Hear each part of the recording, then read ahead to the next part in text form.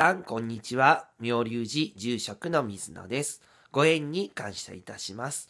この動画を見ていただきましてありがとうございます。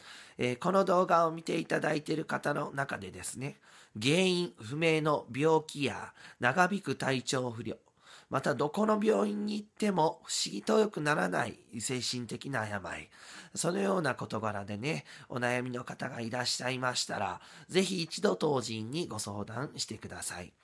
当人にはそういったね、事柄でお困りの方々がたくさん来られております。